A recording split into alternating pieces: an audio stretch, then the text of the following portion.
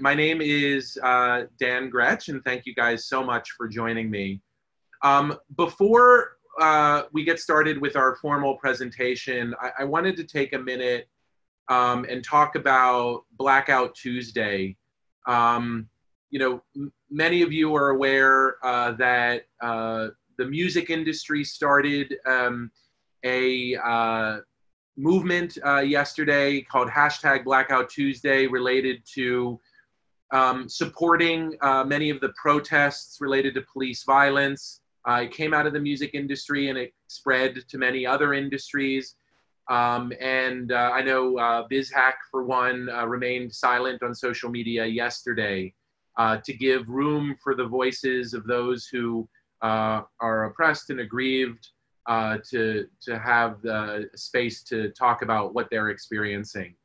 Um, it is an extraordinary moment we're living in right now, and I wanted to acknowledge it. Um, Instagram, which is the topic of today's presentation, plays a big part uh, in both the opportunity and the oppression um, that a lot of folks uh, are are um, are, are uh, movement and movements against. And um, you know the power structures uh, that Facebook, which owns Instagram, Twitter, which is you know clashing right now with the president. Um, inevitably, social media and advertising and digital marketing ha- has taken on and takes on uh, a political bent. BizHack's point of view in all of this is we are empowerers and enablers of small business.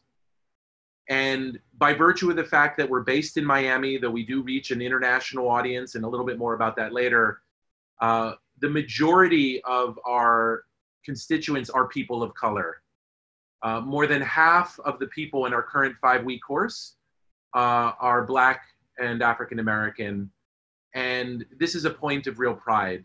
Um, what we attempt to do at BizHack is to empower and enable small businesses to take their marketing into their own hands, to give them the power to grow, and to use these tools that are made available to them to allow for that. And so, um, our mission is to bring 21st century marketing tools to the modern small business to allow them to thrive. And in that way, uh, do our small part to try to restore uh, economic justice and equality in this country.